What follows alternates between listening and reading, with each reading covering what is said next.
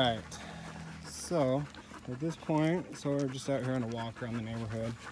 Got Manchi just walking, dragging a leash with me, looking really good. Zindy, you know, this crazy pants. So, um, yeah, at this point, she's really, she's doing everything she needs to do.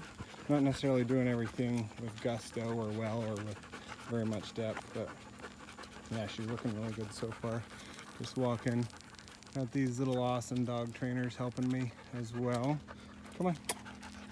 Good girl. Indy. Oops. Good. Good girls. Yeah, so, so far, doing really well. So I'm still using the remote a little bit with her. Um, no, Indy, Poos. Good girl. Good girl, Manch. We'll take them over here, do it down on the grass.